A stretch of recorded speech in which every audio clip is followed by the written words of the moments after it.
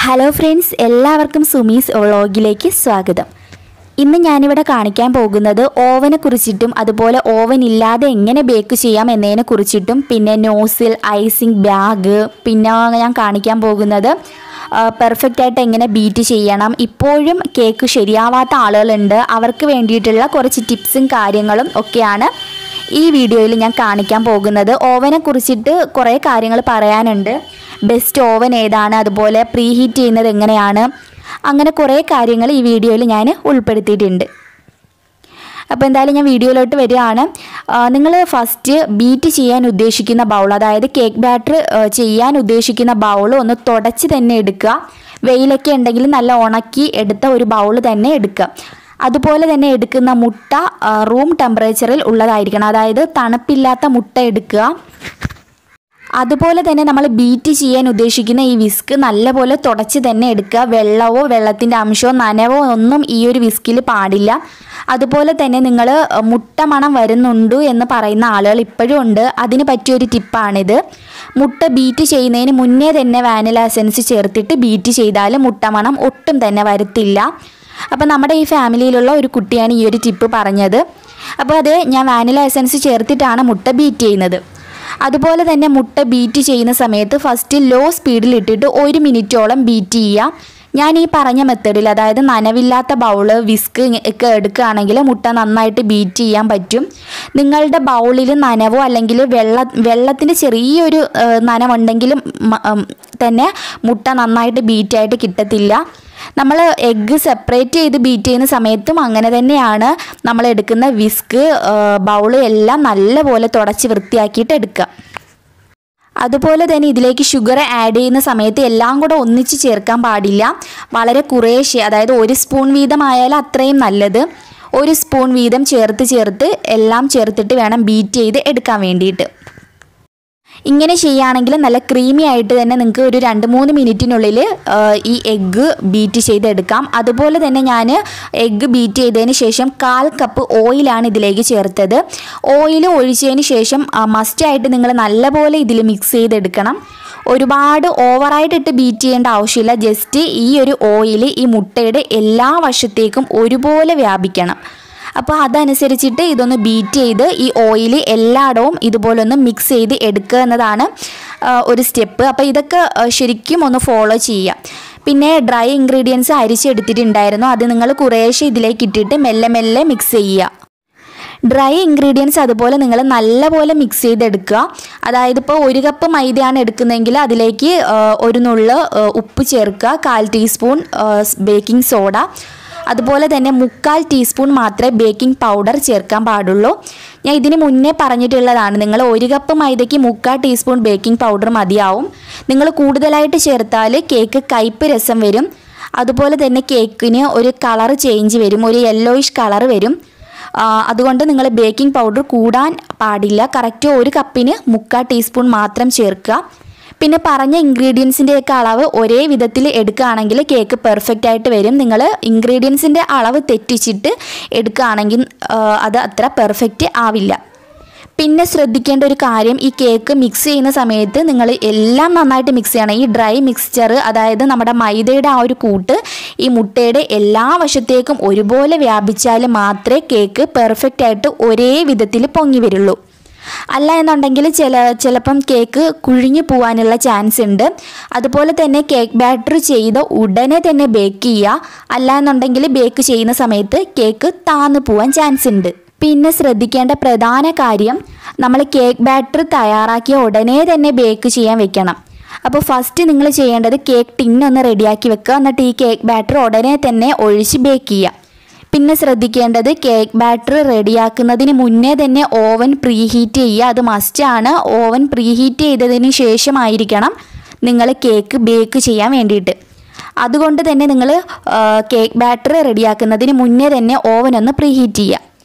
എന്റെ ഓവൻ പ്രസ്റ്റീജിന്റെ P O T G ഓവനാണ് പത്തൊമ്പത് ലിറ്ററിന്റെ ഓവനാണ് ഒരു രണ്ട് കിലോയുടെ കേക്ക് മാത്രമേ ഇതിൽ ബേക്ക് ചെയ്യാൻ പറ്റുള്ളൂ. അപ്പോൾ ഈ ഒരു ഒ ടി ജി ഓവന് മൂന്ന് സെക്ഷനാണ് ഉള്ളത് ഒന്നാമത്തത് ടെമ്പറേച്ചർ രണ്ടാമത്തത് കാണുന്നത് സെലക്ട് സെലക്ടർ പവറാണ് അപ്പോൾ ഈ സെലക്ടർ പവർ ഞാൻ മുകളിൽ നിന്നും താഴെ നിന്നുള്ള ചൂട് വേണം. എന്നാലേ കേക്ക് പെർഫെക്റ്റ് ആയിട്ട് ബേക്ക് ആവുള്ളൂ. അതൊന്ന് നിങ്ങൾ സെറ്റ് ചെയ്ത് വെക്കുക. അതുപോലെ തന്നെ ഏറ്റവും ലാസ്റ്റ് കാണുന്നതാണ് ടൈമർ ടൈമർ എന്ന് പറഞ്ഞാൽ എത്ര ടൈമാണ് നമുക്ക് ബേക്ക് ചെയ്യേണ്ടത്. അതുപോലെ പത്ത് മിനിറ്റ് പ്രീ ഹീറ്റ് ചെയ്യത്തില്ലേ? അതൊക്കെ നമ്മൾ ഈ ടൈമറിലാണ് സെറ്റ് ചെയ്ത് വെക്കുന്നത്. അതൊക്കെ ഞാൻ ജസ്റ്റ് ഒന്ന് പറഞ്ഞു തരാം അപ്പോൾ ഫസ്റ്റ് നിങ്ങൾ ഈ ഓവനെ നിങ്ങൾ കാണേണ്ടത് നമ്മളെ ഒരു ഗ്യാസ് അടുപ്പായിട്ട് ഒന്ന് ചിന്തിക്കുക. നമ്മുടെ ഒരു ഗ്യാസ് അടുപ്പ് പോലെ തന്നെയാണ് ഈ ഒരു ഓവൻ. അപ്പോൾ നമ്മളിപ്പോൾ ഗ്യാസ് അടുപ്പിൽ ഒരു പുഡിങ് റെഡിയാക്കുകയാണ്. ഒരു പുഡിങ് റെഡിയാക്കുന്ന സമയത്ത് നമ്മൾ എന്താ പറയുക ഇപ്പം പാലും കോൺഫ്ലോറും കൂടെ മിക്സ് ചെയ്ത് നമ്മൾ അടുപ്പിൽ വെച്ച് കുറുക്കിയെടുക്കുകയാണ്. ആ ടൈമിൽ നമ്മൾ ഫുൾ ഫ്ലെയിമിൽ ഗ്യാസ് കത്തിച്ച് വെക്കില്ല. അതായത് ഫുൾ ഫ്ലെയിമിൽ വെക്കുകയാണെങ്കിൽ പെട്ടെന്ന് അടുക്കി പിടിക്കും ഇല്ലേ? അപ്പോൾ അത് ശരിയായി വരത്തില്ല. അപ്പോൾ ഒന്നെങ്കിൽ നമ്മൾ മീഡിയം ഫ്ലെയിമിൽ വെച്ചിട്ട് അത് തിക്കാക്കി എടുക്കും. അല്ല എന്നുണ്ടെങ്കിൽ ലോ ഫ്ലെയിമിൽ വെച്ചിട്ട് തിക്കാക്കി എടുക്കും. അപ്പോൾ നമ്മൾ അവിടെ എന്താ ചെയ്തത്? ഫ്ലെയിം ഒന്ന് കുറച്ച് വെച്ചു. അപ്പോഴാണ് അത് കറക്റ്റായിട്ട് വന്നിട്ടുള്ളത്. അപ്പോൾ നമ്മൾ ചായയൊക്കെ ഇടുന്ന സമയത്ത് നമ്മൾ ഫുൾ ഫ്ലെയിമിൽ തന്നെയാണ് വെക്കുന്നത് അല്ലേ? അപ്പോൾ ചില കാര്യങ്ങൾക്കൊക്കെ നമ്മൾ തീ കുറച്ചാണ് വെക്കുന്നത്. ചില കാര്യങ്ങൾക്ക് തീ കൂട്ടിയാണ് നമ്മൾ ഗ്യാസ് അടുപ്പിൽ കൈകാര്യം ചെയ്യുന്നത്. അത് തന്നെ നിങ്ങൾ ഈ ഒരു ഓവനിൽ ഒന്ന് കാണുക. ഓവനെ ഒന്ന് നമ്മൾ ആ ഒരു ഗ്യാസ് അടുപ്പ് പോലെ ഒന്ന് ചിന്തിക്കുക. അപ്പോൾ ശ്രദ്ധിക്കേണ്ടത് ഈ ടെമ്പറേച്ചർ ടെമ്പറേച്ചർ നമുക്ക് ഒരു അളവിലാണ് ഇതിൽ വെക്കേണ്ടത്. ചില കേക്കിന് നിങ്ങൾ നിങ്ങളുടെ ഓവനെ സംബന്ധിച്ചിടത്തോളം അതിനെക്കുറിച്ച് എനിക്ക് അറിയില്ല. അപ്പോൾ അത് നമ്മൾ തന്നെ എന്താണെന്നുള്ളത് മനസ്സിലാക്കി എടുക്കണം. ഇപ്പം ഞാൻ ഫസ്റ്റ് ടൈം ഓവൻ മേടിച്ച സമയത്ത് ഞാനിത് ശരിക്കും ഉപയോഗശൂന്യമായിട്ട് വെച്ചിരിക്കുകയായിരുന്നു. കാരണം ഇതിന്റെ ടെമ്പറേച്ചർ കൃത്യമായിട്ട് എനിക്ക് അറിയില്ലായിരുന്നു. പിന്നെ ഞാൻ തന്നെ മൂന്നാൽ കേക്ക് ഇതിൽ ചെയ്തിട്ടാണ് കറക്റ്റായിട്ടുള്ള ആ ഒരു അളവും കാര്യവും എനിക്ക് പിടികിട്ടിയത്. നിങ്ങൾ കേക്ക് ശരിയായിട്ടില്ലെങ്കിൽ നിങ്ങൾ ചെയ്യേണ്ട എന്താണെന്ന് വെച്ചാൽ നിങ്ങളുടെ ഓവൻ ഏതാണോ ആ ഓവന്റെ ടെമ്പറേച്ചർ കുറച്ച് കുറച്ച് സെറ്റ് ചെയ്ത് നോക്കുക. നിങ്ങൾ ഇനി നൂറ്റി എൺപതിൽ വെച്ചിട്ട് ശരിയായില്ലെങ്കിൽ നൂറ്റി എഴുപത്തഞ്ച് വെച്ച് നോക്കുക. നൂറ്റി എഴുപത്തഞ്ച് വെച്ച് ശരിയായില്ലെങ്കിൽ നൂറ്റി എഴുപതിൽ വെച്ച് നോക്കുക. നൂറ്റി എഴുപതിൽ ശരിയായില്ലെങ്കിൽ നൂറ്റി അറുപത്തഞ്ച് നൂറ്റി അറുപത് അങ്ങനെ സെലക്ട് ചെയ്യുക. അതും ശരിയായില്ലെങ്കിൽ നൂറ്റി നാൽപ്പത് ചില ഓവന് നൂറ്റി നാൽപ്പത് നൂറ്റി മുപ്പത് ഒക്കെ മതിയാവുന്ന ഓവനുണ്ട് നിങ്ങൾ ആ ഒരു ടെമ്പറേച്ചർ സെലക്ട് ചെയ്ത് നോക്കുകയാണെങ്കിൽ നിങ്ങൾക്ക് തീർച്ചയായിട്ടും ഓവനിൽ നല്ല പെർഫെക്റ്റ് ആയിട്ട് ബേക്ക് ആവും.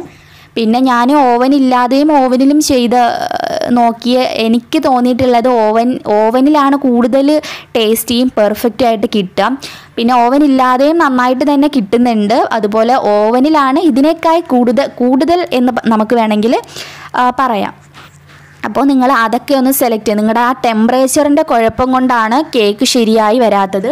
അപ്പോൾ നിങ്ങൾ തന്നെ ആ ടെമ്പറേച്ചർ എത്രയാണെന്ന് കണ്ടുപിടിക്കുക. അവരവരെ ഓവൻ അവരവരെന്ന് എത്രയാണെന്നുള്ളത് ഒന്ന് കണ്ടുപിടിക്കുക. അപ്പോൾ മൂന്നാലഞ്ച് കേക്ക് ചിലപ്പോൾ ചെയ്ത് ശരിയാ ആക്കി എടുക്കേണ്ടി വരും. അപ്പോൾ ചെറിയ അളവിൽ കേക്ക് ചെയ്ത് നോക്കുക. രണ്ട് മുട്ടയൊക്കെ വെച്ചിട്ട് കേക്ക് ബാറ്റർ റെഡിയാക്കിയിട്ട് ഒന്ന് കേക്ക് ബേക്ക് ചെയ്ത് നോക്കുക. അപ്പോൾ നിങ്ങൾക്ക് ശരിയായിട്ട് കിട്ടും. പിന്നെ ആ ബട്ടർ കേക്കൊക്കെ ചെയ്യുന്ന സമയത്ത് ചിലപ്പോൾ വേണമെങ്കിൽ ടെമ്പറേച്ചർ കൂട്ടി വെക്കേണ്ടി വരും. നൂറ്റി ഞാൻ ഇപ്പം നൂറ്റി അറുപതിലല്ലേ ചെയ്യുന്ന. ചിലപ്പോൾ നൂറ്റി അറുപത്തഞ്ച് അല്ലെങ്കിൽ നൂറ്റി എഴുപതിൽ വെക്കേണ്ടി വരും. എനിക്ക് അത്രേ വേണ്ടി വരുള്ളൂ. സ്പഞ്ച് കേക്കൊക്കെ ചെയ്യുന്ന സമയത്ത് ഞാൻ നൂറ്റി അറുപതിൽ തന്നെയാണ് വെക്കുന്നത്. അപ്പോൾ അത് നിങ്ങളൊന്ന് സെലക്ട് ചെയ്യുക. ആ സോറി ആ ടെമ്പറേച്ചറിന്റെ കാര്യം ഒന്ന് നിങ്ങൾ നോക്കുകയാണെങ്കിൽ ശരിക്കും ഓവനിൽ നിങ്ങൾക്ക് നന്നായിട്ട് ബേക്ക് ചെയ്യാം. ഒന്ന് ഇതൊന്ന് ഞാൻ ഈ പറഞ്ഞ മെത്തേഡ് ഒന്ന് നോക്കൂ കേട്ടോ എന്നിട്ട് എന്തെങ്കിലും കുഴപ്പമുണ്ടെങ്കിൽ എന്റെ അടുത്ത് പറയുക. ഇത് നല്ലൊരു ടിപ്പാന്ന് തന്നെയാണ് എന്റെ ഒരു വിശ്വാസം. നമ്മുടെ എക്സ്പീരിയൻസ് ആണല്ലോ എല്ലാം അല്ലേ? പിന്നെ പ്രീ ഹീറ്റ് ചെയ്യുന്ന എങ്ങനെയാണെന്ന് ജസ്റ്റ് കാണിച്ചു തരാം. അതായത് നിങ്ങൾ എത്ര ടെമ്പറേച്ചറിലാണോ കേക്ക് ബേക്ക് ചെയ്യാൻ പോകുന്നത്? ആ ടെമ്പറേച്ചർ സെറ്റ് ചെയ്യാം. ഞാൻ നൂറ്റി അറുപത് സെറ്റ് ചെയ്ത് വെച്ചു. അതുപോലെ സെലക്ടർ പവർ ഞാൻ സെറ്റ് ചെയ്യുന്നത് താഴെ നിന്ന് മുകളിൽ മുകളിൽ നിന്നുള്ള ചൂട് ഞാൻ സെലക്ട് ചെയ്തു. പിന്നെ ടൈമർ ടൈമർ പത്ത് മിനിറ്റ് നമ്മൾ അവിടെ കണ്ടു? അവ അവിടുന്ന് പത്ത് മിനിറ്റിലോട്ട് വെക്കുക. അതിങ്ങനെ കറങ്ങി കറങ്ങി കറങ്ങി സീറോ ആകുമ്പം ഓവൻ നന്നായിട്ട് ചൂടാവും. ചൂടായതിന് ശേഷം കേക്ക് ബാറ്റർ നമ്മൾ ഇതിനുള്ളിലേക്ക് വെക്കും. എന്നിട്ട് അടച്ച് വെച്ചിട്ട് നാൽപ്പതോ അൻപതോ മിനിറ്റ് ഇട്ട് വെച്ചിട്ട് ബേക്ക് ചെയ്യും. ഇതാണ് നമ്മൾ ഓവനിൽ പ്രീഹീറ്റ് ചെയ്യുന്ന സംഭവം. അത്രയേ ഉള്ളൂ. ഭയങ്കര പാടൊന്നുമില്ല. മനസ്സിലായെന്ന് വിശ്വസിക്കുന്നു. പിന്നെ കുറേ പേര് ചോദിക്കുന്നുണ്ട് മൈക്രോവേവിൽ നമുക്ക് ബേക്ക് ചെയ്യാൻ പറ്റുമോ എന്ന് സാധാരണ മൈക്രോവേവിൽ നമ്മൾ വിചാരിക്കുന്ന പോലെ കേക്ക് ബേക്ക് ചെയ്യാൻ പറ്റില്ല. അത് ശരിക്കും കുക്കിങ്ങിന് വേണ്ടിയിട്ട് മാത്രമുള്ള ഒരു ഓവനാണ് ഈ ചൂടാക്കാനും അതിനൊക്കെ വേണ്ടിയിട്ടുള്ള ഓവനാണ് അപ്പം നിങ്ങൾ നല്ലൊരു ഓവൻ മേടിക്കാൻ ഉദ്ദേശിക്കുന്നെങ്കിൽ ഒന്നെങ്കിൽ മൈക്രോവേവ് കൺവെക്ഷൻ ഓവൻ മേടിക്കുക കൺവെക്ഷൻ ഉള്ള ഓവൻ വേണം നിങ്ങൾ ചൂസ് ചെയ്യാൻ വേണ്ടിയിട്ട്. അതാണ് ബേക്ക് ചെയ്യുന്ന ഓവൻ ഒരുപാട് ടൈപ്പ് ഓവൻ ഉണ്ട്. അപ്പോൾ നിങ്ങൾ കൺവെക്ഷനുള്ള ഓവൻ സെലക്ട് ചെയ്യാം അതുപോലെ തന്നെ ഒ ടി ജി ഓവൻ നല്ലൊരു ഓപ്ഷനാണ് എന്നെ സംബന്ധിച്ചിടത്തോളം എനിക്കിത് ബെസ്റ്റ് ഒരു ഓവൻ തന്നെയാണ്.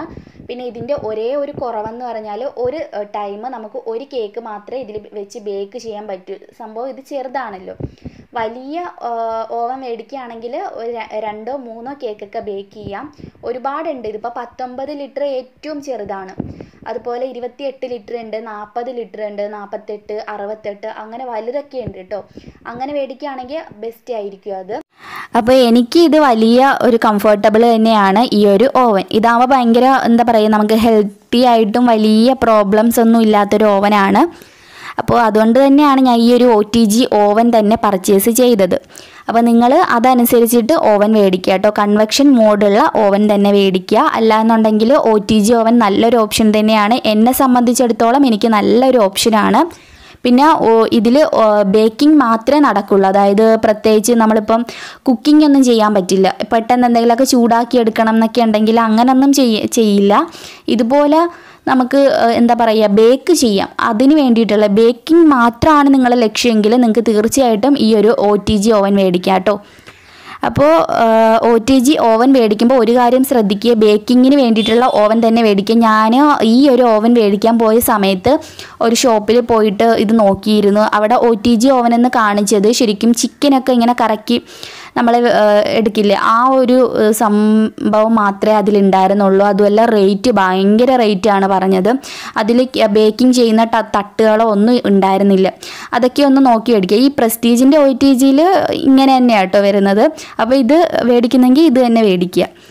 അപ്പോൾ ഓവനെ കുറിച്ച് മനസ്സിലായെന്ന് കരുതുന്നു. ഇനി എന്തെങ്കിലും ഡൗട്ട്സ് ഉണ്ടെങ്കിൽ താഴെ ചോദിക്കാം. പിന്നെ നിങ്ങൾ ഒരുപാട് ക്വസ്റ്റ്യൻസ് എന്റെ അടുത്ത് ചോദിച്ചിട്ടുണ്ട്. അതിന്റെയൊക്കെ ക്വസ്റ്റ്യൻസ് ആൻസർ ആയിട്ട് ഞാൻ ഉടനെ തന്നെ മറ്റൊരു വീഡിയോ ചെയ്യൂ കേട്ടോ ഇനി നമുക്ക് ഓവൻ ഇല്ലാതെ എങ്ങനെയാണ് ബേക്ക് ചെയ്യുന്നത് എന്നൊന്ന് ജസ്റ്റ് നോക്കാം. ഒരു കാര്യം ഞാൻ പറയാം. നമ്മൾ ഓവൻ ഇല്ലാതെ ബേക്ക് ചെയ്യുമ്പോൾ നമ്മുടെ പാത്രം കേടാകും എന്നുള്ളത് ഒരു വാസ്തവമാണ്. കാരണം എന്റെ ഈ ഇത് ഈ ഇഡലി പാത്രം കാണുമ്പോൾ തന്നെ നിങ്ങൾക്കത് കാര്യം പിടിയിട്ടും ഓവൻ ഇല്ലാതെ ബേക്ക് ചെയ്യുമ്പോൾ പാത്രം ഒരുപാട് നാളേക്ക് ആകുമ്പോൾ കേടാവും കേട്ടോ ഒരു കറുത്ത പോലെയൊക്കെ ആവും. പിന്നെ ഇത് കണ്ടോ? എന്റെ പാത്രം കാണുമ്പോൾ തന്നെ നിങ്ങൾക്ക് മനസ്സിലാവും. പിന്നെ നമ്മൾ ബേക്കിങ്ങിന് വേണ്ടിയിട്ട് മാത്രം ഇതുപോലൊരു സംഭവം മേടിച്ച് വയ്ക്കുക ഇഡലി പാത്രം മേടിച്ച് വെച്ചാൽ ബേക്കിങ്ങിന് മാത്രമായിട്ടും എടുക്കാം. പിന്നെ ഞാനിതിലെല്ലാം ചെയ്യും. ബേക്കിങ്ങും ചെയ്യും. അതുപോലെ ഇഡലിയൊക്കെ പുഴുങ്ങിയെടുക്കുകയും ചെയ്യും കേട്ടോ അപ്പോൾ ഞാൻ ചെയ്യുന്നതെന്ന് വെച്ചാൽ ഇപ്പോൾ സാധാരണ ഇതുപോലെ ഇഡലി പാത്രം എടുക്കും. എന്നിട്ട് അടുപ്പിലോട്ട് വെക്കും. ഇതിലേക്ക് ഞാൻ ഉപ്പ് മണൽ അതുപോലെ ഒന്നും ചേർക്കില്ല. ഇതിന്റെ കൂടെ കിട്ടുന്ന തട്ടാണ് ഞാൻ ഇതിനുള്ളിലേക്ക് ഞാൻ ഇങ്ങനെ കമഴ്ത്തിയാണ് ഇട്ട് കൊടുത്തിരിക്കുന്നത്. കമഴ്ത്തി ഇങ്ങനെ ഇട്ട് കൊടുക്കുന്ന സമയത്ത് നമുക്ക് കേക്ക് ഇതിന്റെ മുകളിലേക്ക് പെട്ടെന്ന് ഇങ്ങനെ വെച്ച് കൊടുക്കാൻ പറ്റും. അത് മാത്രമല്ല ഈ തട്ട് ഇട്ട് കൊടുക്കുമ്പോഴുള്ള ഗുണം എന്ന് പറഞ്ഞാൽ കേ നല്ല പൊക്കം കിട്ടുന്നുണ്ട്. ഇല്ലേ? ആ ഒരു ചൂടിൽ നിന്ന് നല്ല പൊക്കം കിട്ടുമ്പോൾ നല്ല ചൂട് തട്ടിയിട്ട് കേക്ക് ബേക്ക് ആവുകയും ചെയ്യും. അടിഭാഗം ഒട്ടും തന്നെ എന്താ പറയുക കരിഞ്ഞു പോവുകയില്ല. പെർഫെക്റ്റ് ആയിട്ട് തന്നെ കേക്ക് ബേക്ക് ചെയ്യാൻ പറ്റും. ഇങ്ങനെ ഈ ഒരു തട്ട് ഇട്ട് കൊടുക്കുകയാണെങ്കിൽ. പിന്നെ നമുക്കിത് അടച്ചു വെച്ചിട്ട് കംഫർട്ടബിൾ ആയിട്ട് തന്നെ ബേക്ക് ചെയ്യാൻ പറ്റും. നന്നായിട്ട് വരികയും ചെയ്യും. ഒരു കാര്യം പറയാലോ. നമ്മൾ സ്റ്റീലിന്റെ പാത്രത്തിനേക്കായി അലൂമിനിയത്തിൽ വെച്ച് ബേക്ക് ചെയ്യുമ്പോൾ അലൂമിനിയം ഈ സ്റ്റീലിനേക്കായി നല്ല പോലെ ചൂടാവുന്ന സംഭവമാണ്. അപ്പോൾ ആ നല്ല ആ ചൂട് തട്ടി പെർഫെക്റ്റ് ആയിട്ട് പെട്ടെന്ന് നന്നായിട്ട് ബേക്കായിട്ട് വരും. പിന്നെ സ്റ്റീലിന്റെ പാത്രത്തിൽ ബേക്ക് ചെയ്യുന്നവരുണ്ടെന്ന് എന്നോട് പറഞ്ഞു. നന്നായിട്ട് ബേക്ക് ആവുന്നു എന്നും പറഞ്ഞിട്ടുണ്ട് കേട്ടോ അപ്പോൾ എനിക്ക് തോന്നുന്നത് സ്റ്റീലിനേക്കായി നന്നായിട്ട് വരിക അലൂമിനിയം പാത്രം തന്നെയാണ്. കാരണം അലൂമിനിയത്തിന്റെ ആ ചൂട് പെട്ടെന്ന് പെട്ടെന്ന് ആ ഒരു ചൂട് തട്ടിയിട്ട് നന്നായിട്ട് ബേക്കായിട്ട് വരും. അപ്പം ഇതുപോലൊരു അലൂമിനിയത്തിന്റെ ഒരു ഇഡലി പാത്രം മേടിച്ച് വെക്കുകയാണെങ്കിൽ നിങ്ങൾക്ക് എപ്പോഴും നന്നായിട്ട് ബേക്ക് ചെയ്യാം. പ്രത്യേകിച്ച് ഉപ്പ് മണലൊന്നും ഇല്ലാത്തതുകൊണ്ട് പെട്ടെന്ന് അടുപ്പിലോട്ട് വെച്ചിട്ട് ഇതൊന്ന് ചൂടാക്കുക. എന്നിട്ട് ഇത് തുറന്നിട്ട് കേക്ക് ബാറ്റർ വെക്കുന്നു അടച്ച് വെക്കുന്നു ബേക്ക് ചെയ്യുന്നു. അത്രയേ ഉള്ളൂ. അപ്പം ഞാൻ എല്ലാ സംഭവവും ആ ഒരു ഇഡലി പാത്രത്തിൽ തന്നെയാണ് ബേക്ക് ചെയ്യുക. അപ്പോൾ നിങ്ങൾ ചെയ്യേണ്ട കാര്യം എന്ന് പറഞ്ഞാൽ ഇഡലിപ്പാത്രം നന്നായിട്ട് ചൂടാക്കിയിട്ട് മാത്രം പ്രീ ഹീറ്റ് ഇതിലും അത്യാവശ്യമാണ്. ഓവൻ ഇല്ലാതാണെങ്കിലും ശരി പ്രീ ഹീറ്റ് ചെയ്യണം.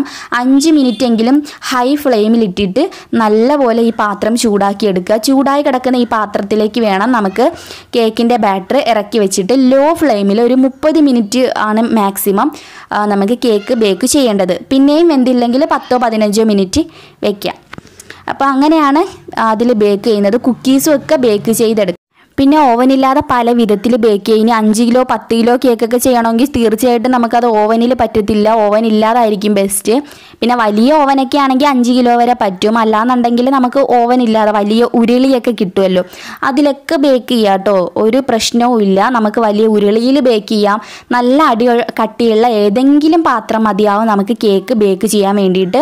നല്ല പൊക്കമുള്ള എന്തെങ്കിലും തട്ടിട്ട് കൊടുത്തിട്ട് അതിന്റെ മുകളിൽ ധൈര്യമായിട്ട് കേക്ക് വച്ചിട്ട് ബേക്ക് ചെയ്യാം കേട്ടോ. ഓവനില്ലാതെ പല വിധത്തിലും ബേക്ക് ചെയ്യാം. പിന്നെ സോസ് പാനിൽ ഡയറക്റ്റായിട്ട് ഒഴിച്ച് ബേക്ക് ചെയ്യാം. അതിന് വേണ്ടിയിട്ട് ഇതുപോലെ ഒരു പാത്രം എടുക്കുക. അതിന്റെ മുകളിൽ സോസ് പാൻ വെച്ച് കൊടുക്കുക. ഇതിലേക്ക് കുറച്ച് നെയ്യോ ഓയിലോ ഒന്ന് സ്പ്രെഡ് ചെയ്തിട്ട് കേക്ക് ബാറ്റർ ഇതിലേക്ക് ഒഴിച്ച് കൊടുക്കുക. എന്നിട്ട് നന്നായിട്ട് അടച്ച് വെക്കുക. എന്നിട്ട് ലോ ഫ്ലെയിമിലിട്ടിട്ട് ബേക്ക് ചെയ്യുകയാണെങ്കിൽ നന്നായിട്ട് തന്നെ ബേക്കായിട്ട് വരും കേട്ടോ നന്നായിട്ട് വരും. ഞാൻ ചെയ്തിട്ടുള്ളതാണ്. ഇങ്ങനെ പല വിധത്തിൽ നമുക്ക് കേക്ക് ഓവൻ ഇല്ലാതെ ബേക്ക് ചെയ്യാമെന്ന് മനസ്സിലാക്കുക. അപ്പോൾ കേക്ക് എല്ലാത്തരം കേക്കും നമുക്ക് ഓവൻ ഇല്ലാതെ ചെയ്യാൻ പറ്റും. ഞാൻ ചെയ്തിട്ടുള്ളതാണ്. അപ്പോൾ ഇതൊക്കെ ക്ലിയർ ആയിട്ട് മനസ്സിലായെന്ന് കരുതുന്നു. ഡൗട്ട്സും കാര്യങ്ങളും തീർച്ചയായിട്ടും ചോദിക്കുക. ഞാൻ ഒരു രണ്ട് മൂന്ന് ദിവസം വൈകിയാണെങ്കിലും റിപ്ലൈ തരും. അപ്പോൾ ഇപ്പം ഞാൻ അപ്പപ്പോൾ റിപ്ലൈ തരാൻ ശ്രമിക്കുന്നുണ്ട്. പിന്നെ എന്റെ അടുത്ത് ഒരു കുട്ടി ചോദിച്ച ഒരു ചോദ്യമാണ് നല്ല ഐസിങ് ബാഗ് ഏതാണെന്ന് ചോദിച്ചിട്ടുണ്ടായിരുന്നു? നമുക്ക് റീയൂസബിൾ ആയിട്ടുള്ള ഐസിങ് ബാഗ് കിട്ടുന്നുണ്ട് പക്ഷേ എനിക്ക് അത്ര അത് ഇഷ്ടമായിട്ടില്ല കാരണം അത് പെട്ടെന്ന് അങ്ങ് ചീത്തയായി പോകുന്നുണ്ട്. ഭയങ്കരമായിട്ട് എന്തെങ്കിലും നമ്മൾ ഫുഡ് കളറൊക്കെ ചേർത്തിട്ടുള്ള വിപ്പിംഗ് ക്രീം അതിലേക്ക് ചേർക്കുന്ന സമയത്ത് അത് പെട്ടെന്ന് കളറൊക്കെ പിടിച്ച് അഴുക്ക് പോലെ ആവുന്നു. കാണാനും ഒരു ഭംഗിയില്ല. അപ്പോൾ എനിക്കത് ഒട്ടും ഇഷ്ടമായിട്ടില്ല ഭയങ്കര എണ്ണമയം പോലാണ് എപ്പോഴും അത് ഇരിക്കുക. അതായത് നമ്മൾ വിപ്പിംഗ് ക്രീം അതിലേക്ക് വെച്ചിട്ടല്ലേ സാധാരണ അത് യൂസ് ചെയ്യുന്നത്. അപ്പം എനിക്കത് അങ്ങോട്ട് ഇഷ്ടമായില്ല എനിക്ക് ഏറ്റവും കംഫർട്ടബിളും ഇഷ്ടവുമായത് ഈ ഐസിങ് ബാഗാണ് ഇതെനിക്ക് ഭയങ്കരമായിട്ട് ഭയങ്കര കംഫർട്ടബിൾ ആണ് നല്ല അടിപൊളിയായിട്ട് ഐസിങ് ചെയ്യാനും പറ്റുന്നുണ്ട്. സംഭവം ഇത് പ്ലാസ്റ്റിക് ആണ്. ഈ ഒരു കോൺ ഷേപ്പിലായതുകൊണ്ട് തന്നെ നമുക്ക് പെർഫെക്റ്റ് ആയിട്ട് ഐസിങ് ചെയ്യാനും പറ്റും. നല്ല സൂപ്പർ ഐറ്റം ആണ്. പേര് എഴുതുന്ന കാര്യത്തിലാണെങ്കിലും ഇത് വളരെ നല്ല യൂസ്ഫുൾ ആയിട്ടുള്ള ഐസിങ് ബാഗ് ആണ്. ഇത് ഓൺലൈനിലുണ്ട്. നൂറ്റി ഇരുപതോ നൂറ്റി നാൽപ്പതോ രൂപയാണ് നൂറെണ്ണത്തിന്. അത്രയാണെന്ന് തോന്നുന്നു. ഇനി കൂടുതലാണോ എന്ന് എനിക്ക് അറിയാൻ വയ്യ. ഞാനൊന്ന് നോക്കട്ടെ. എന്താണെങ്കിലും അതിന്റെ റേറ്റും കാര്യവും ഒക്കെ ആയിട്ട് ഞാൻ ഒന്നെങ്കിൽ ഡിസ്ക്രിപ്ഷൻ ബോക്സിൽ ലിങ്ക് കൊടുത്തിരിക്കാം. അല്ല എന്നുണ്ടെങ്കിൽ ഞാൻ കമന്റ് ബോക്സിൽ കമന്റ് ഇട്ടിട്ട് ഒന്ന് പിൻ ചെയ്തിട്ടിരിക്കുക. അപ്പോൾ നിങ്ങൾക്ക് കാണാമല്ലോ അപ്പോൾ ഇത് ഞാൻ നൂറെണ്ണമാണ് സാധാരണ മേടിക്കുക. ഒരു ബാഗിൽ നൂറ് പീസായിട്ടാണ് ഈ ഒരു കവർ വരിക. അപ്പോൾ ഞാൻ നൂറെണ്ണമാണ് മേടിക്കുക. ആവശ്യം അനുസരിച്ചിട്ട് യൂസ് ചെയ്യല്ല നമുക്ക് ഒരുപാട് നാൾ നമുക്ക് എടുക്കാൻ പറ്റും. ബേക്കറിയിലൊക്കെ ഇതാണ് യൂസ് ചെയ്യുന്നത്. അപ്പോൾ ഞാൻ ഇതാണ് യൂസ് ചെയ്യുന്നത്. അപ്പോൾ എന്റെ അടുത്ത് കുറേ പേര് ചോദിച്ചിട്ടുള്ള മറ്റൊരു ചോദ്യം ഈ വി ഷേപ്പിൽ എങ്ങനെ കട്ട് ചെയ്യാം എന്ന് ചോദിച്ചിട്ടുണ്ടായിരുന്നു. അതായത് നമുക്ക് നോസിൽ ലീഫിന്റെ നോസിൽ ഇല്ലാതെ എങ്ങനെ നോസിൽ വരയ്ക്കാം. അതിന് ചെയ്യേണ്ടത് വളരെ സിമ്പിൾ ആട്ടോ അതായത് ഇതുപോലെ എടുത്ത് വെക്കുക. ഈ കോൺ ഷേപ്പ് ഉണ്ട് ഇവിടെ നിന്ന് വി ഷേപ്പിൽ കട്ട് ചെയ്ത് കൊടുത്താൽ മതി. ആദ്യം ഈ സൈഡിൽ ഇതുപോലെ ഒന്ന് കട്ട് ചെയ്യാം. ഞാൻ കാണിച്ചു തരാം. കുറച്ച് ഭാഗ്യം കട്ട് ചെയ്യുക ഒരു അര ഇഞ്ച് വലിപ്പത്തിലേ കട്ട് ചെയ്യുക കേട്ടോ. ഒരുപാട് അങ്ങ് വലുതാക്കാൻ പാടില്ല. അതുപോലെ ഇത് തിരിച്ചു വെക്കുക. എന്നിട്ട് ഇവിടെയും ഇങ്ങനെ ഒന്ന് ചരിച്ച് വെച്ചിട്ട് കട്ട് ചെയ്ത് കൊടുക്കുക. കണ്ടോ? ഒരു അര ഇഞ്ച് വലിപ്പത്തിലൊന്ന് കട്ട് ചെയ്ത് കൊടുക്കുക. ഈ രണ്ട് സൈഡ് അത് ഞാൻ പറഞ്ഞത് വി ഷേപ്പ് കണ്ടോ? വി ഷേപ്പിൽ ഇത് എങ്ങനെയാണ് ഞാൻ ഇപ്പം കട്ട് ചെയ്ത് മാറ്റിയിട്ടുള്ളത്. ഇതിൽ നമ്മളിനി വിപ്പിംഗ് ക്രീം ചേർക്കുകയാണെങ്കിൽ നമുക്ക് ലീഫിന്റെ ഷേപ്പ് കിട്ടും. ഞാൻ വിപ്പിംഗ് ക്രീം ജസ്റ്റ് ഒന്ന് കാണിച്ചു തരാം. അപ്പം ഞാൻ ഇത് ലീഫ് വരയ്ക്കാൻ പോവുകയാണ്. കണ്ടോ ഇതുപോലെ ഇങ്ങനെ ആക്കി ആക്കി ഞാൻ കൊടുത്താൽ മതി. ഇനി ലീഫ് വരയ്ക്കുന്ന സമയത്ത് അത്ര അങ്ങോട്ട് പെർഫെക്റ്റ് ആയിട്ട് വന്നിട്ടില്ല എന്നുണ്ടെങ്കിൽ എന്താ ചെയ്യേണ്ടതെന്ന് വെച്ചാൽ ഒന്നും കൂടി ഒന്ന് കട്ട് ചെയ്ത് കൊടുത്താൽ മതി കേട്ടോ. അപ്പം അങ്ങ് ശരിയായി കിട്ടിക്കോളും. ഇങ്ങനെയാണ് കണ്ടോ പച്ച കളർ ആകുമ്പോൾ ആ ഒരു കറക്റ്റ് കളർ അപ്പോൾ എന്റെ അടുത്ത് ഞാൻ ഈ കളർ ചേർത്ത് വെച്ചത് ഉണ്ടായിരുന്നു അതുകൊണ്ടാണ് ഞാൻ ഇപ്പോൾ ഇത് കാണിച്ചത്. അപ്പോൾ ഇത്രയേ ഉള്ളൂ സംഭവം. അപ്പോൾ നോസിലില്ലാതെ നമുക്ക് സൂപ്പറായിട്ട് ഡെക്കറേറ്റ് ചെയ്യാം എന്നതാണ് ഈ ഒരു സംഭവം. അപ്പോൾ നോസിലില്ലാതെ ഫ്ലവർ ഒക്കെ വരയ്ക്കുന്നത് ഞാൻ നോക്കട്ടെ. ഞാൻ ഒരു വീഡിയോയിൽ പറ്റുമെങ്കിൽ ചെയ്യാം കേട്ടോ അതുപോലെ തന്നെ ഫ്ലവർ വരയ്ക്കുന്ന ഫ്ലവർ ഡീറ്റെയിൽഡ് ആയിട്ട് കാണിക്കണം എന്ന് പറഞ്ഞിട്ടുണ്ട്. അതും ഞാൻ കാണിക്കാം കേട്ടോ ആരും വിഷമിക്കേണ്ട. അപ്പോൾ ഇത് മനസ്സിലായെന്ന് കരുതുന്നു. പിന്നെ നമുക്ക് ഒരുപാട് ടൈപ്പിൽ നോസിൽ ലഭ്യമാണ് കേട്ടോ. ഒരുപാട് ടൈപ്പിൽ നമുക്ക് കിട്ടും. നമുക്ക് ഇഷ്ടമുള്ളത് നമുക്ക് ചൂസ് ചെയ്യാം. എന്നാലും പ്രധാനമായിട്ട് ഇപ്പം ഒരു ബേക്കിംഗ് പഠിച്ച ഒരു വ്യക്തി നമുക്ക് തുടക്കമാണ്. ഇത്രയും നോസിലൊന്നും ആവശ്യമില്ല എന്നുണ്ടെങ്കിൽ ജസ്റ്റ് ഇതേ ഇതുപോലെ ഒരു സ്റ്റാർ നോസിൽ മേടിക്കുക. പിന്നെ ലീഫിന്റെ ടെക്നിക്ക് ഞാൻ പറഞ്ഞതുകൊണ്ട് ആ നോസിലും ആവശ്യമില്ല. ഇതുപോലെ ഇതുപോലൊരു സ്റ്റാർ നോസിൽ ഉണ്ടെങ്കിൽ നല്ല ഫ്ലവർ വരച്ചെടുക്കാം. ഇത് വെച്ച് തന്നെ നമുക്ക് പല ഡിസൈനും ചെയ്തെടുക്കാം. ഫ്ലവർ മാത്രമല്ല വേറെ പല ഡിസൈനും ചെയ്തെടുക്കാം. ഇതുപോലെ തന്നെ ഈ സ്റ്റാർനോസിൽ തന്നെ പല ടൈപ്പ് ഉണ്ട്. ഇത് നമ്പർ സെവൻ സ്റ്റാർനോസിലാണ്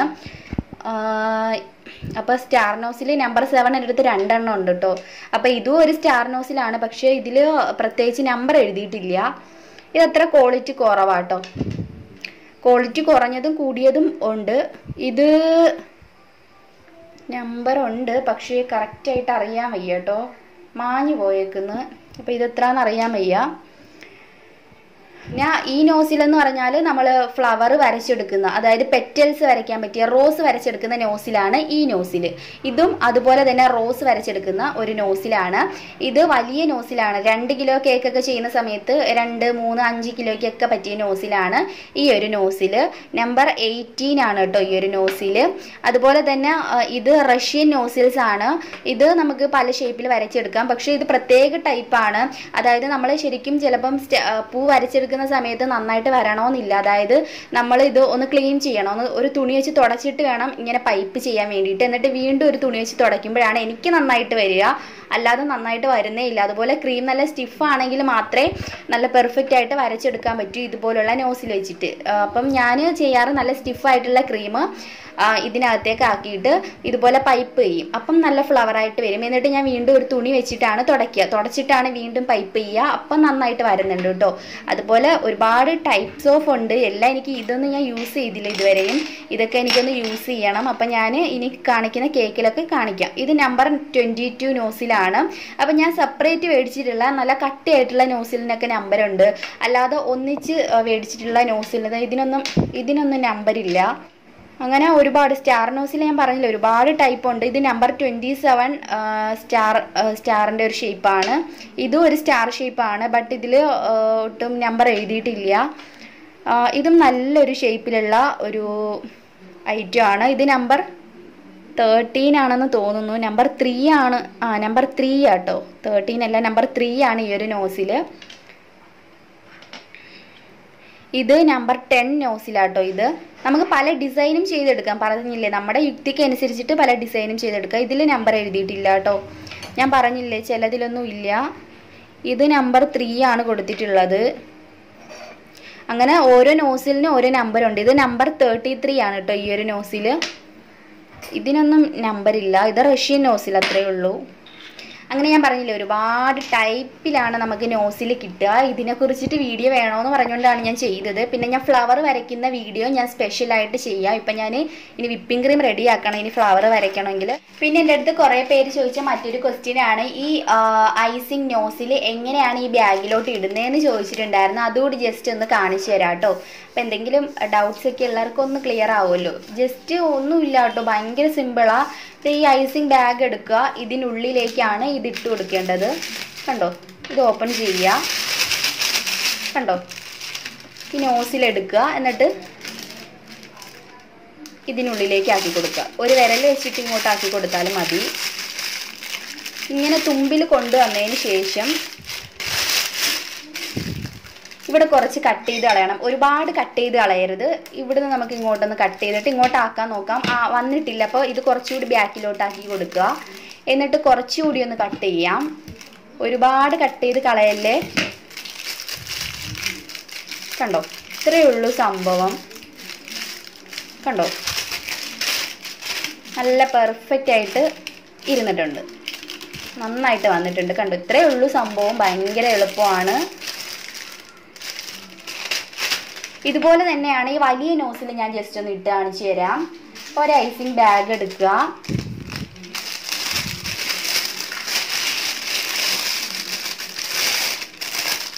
ഇതിനുള്ളിലേക്ക് ഈ ഒരു ഐസിങ് നോസിൽ ഇട്ട് കൊടുക്കുക. ഇപ്പം ഞാൻ ഈ കാണിച്ച പോലെ തന്നെ ഇതിപ്പോൾ ഇവിടെ ഏറ്റവും മാക്സിമം ഇങ്ങനെ തുമ്പിൽ കൊണ്ടുവന്നു. എന്നിട്ട് ജസ്റ്റ് ഒന്ന് ബാക്കിലോട്ടാക്കി കൊടുക്കുക. എന്നിട്ട് ഒന്ന് കട്ട് ചെയ്ത് കൊടുക്കുക. എന്നിട്ട് വന്നില്ലെങ്കിൽ ജസ്റ്റ് ഒന്നും കൂടി ഒന്ന് കട്ട് ചെയ്താൽ മതി. വന്നിട്ടുണ്ട് കണ്ടോ? ഇത്രയേ ഉള്ളൂ. കണ്ടോ? ഇങ്ങനെയാണ് ഞാൻ ഇടുന്നത്. വലിയ പാടുള്ള പാടൊന്നും ഉള്ള സംഭവമല്ല കേട്ടോ. ഇനി നമുക്ക് ഇതിലേക്ക് വിപ്പിംഗ് ക്രീം നിറയ്ക്കണമെങ്കിൽ എന്താ ചെയ്യേണ്ടതെന്ന് വെച്ചാൽ ഇതൊന്ന് ഇങ്ങനെ ആക്കി കൊടുക്കുക കണ്ടോ? ഇങ്ങനെ ആക്കി കൊടുത്തതിന് ശേഷം ഞാൻ ഇതിനുള്ളിലേക്ക് വിപ്പിംഗ് ക്രീം നിറയ്ക്കും. ഇതിനുള്ളിലേക്ക് വിപ്പിംഗ് ക്രീം നിറച്ചിട്ട് ഇങ്ങനെ പൊക്കി കൊടുക്കും. അപ്പോൾ കറക്റ്റ് വിപ്പിംഗ് ക്രീം ഇതിനുള്ളിലേക്ക് ആയി കിട്ടും. ഇത്രയേ ഉള്ളൂ. അപ്പോൾ ഇതും പിന്നെ ഒരു രണ്ടാഴ്ച മുന്നേ നമ്മൾ സുമീസ് ടേസ്റ്റ് കിച്ചനെ ഒരു പോസ്റ്റ് ഇട്ടു. കേക്കിനെ കുറിച്ചുള്ള സംശയങ്ങൾ ചോദിക്കാമെന്ന് പറഞ്ഞിട്ട് അതിൽ നമുക്ക് നൂറ്റി തൊണ്ണൂറ്റിയെട്ട് ലൈക്ക് നൂറ്റി എൺപത്തി ഒന്ന് കമൻസ് വന്നിട്ടുണ്ട്. ഈ നൂറ്റി എൺപത്തൊന്ന് കമൻസിനെയും ആസ്പദമാക്കി ഞാൻ ക്യു ആൻ എ വീഡിയോ ഉടനെ തന്നെ ചെയ്യൂ കേട്ടോ. നിങ്ങളെല്ലാവരും ഓരോരുത്തരും ചോദിച്ച ക്വസ്റ്റ്യൻ എടുത്തു പറഞ്ഞ് ആൻസർ പറയുന്നതായിരിക്കും. അപ്പോൾ എല്ലാവരും ആ ഒരു വീഡിയോയ്ക്ക് വേണ്ടിയിട്ട് വെയിറ്റ് ചെയ്യുക. എന്തായാലും നമുക്ക് പുതിയ ഒരു വീഡിയോയുമായിട്ട് വീണ്ടും കണ്ടുമുട്ടാം. അതുവരേക്കും ബൈ ബൈ ടേക്ക് കെയർ